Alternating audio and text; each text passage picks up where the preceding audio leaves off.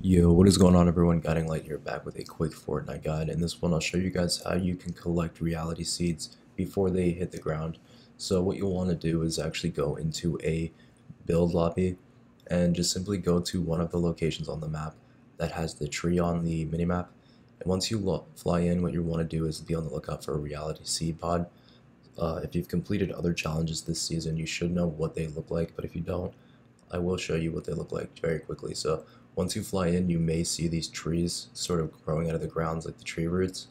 And you want to be on the lookout for those tree roots because on these roots you will be able to find these reality seed pods.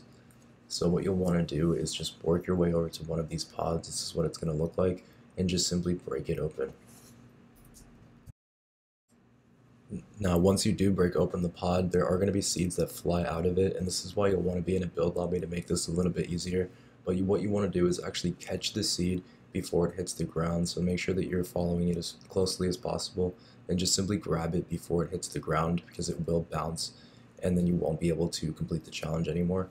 So if you are in a build lobby, it will make things a little bit easier because you can build a platform up to try to get yourself a little bit closer to it before it gets to the ground. But otherwise, what you'll want to do is just simply catch it while it's falling. And that's it for this challenge, guys. So hopefully it helps you out, and I'll catch you in the next one.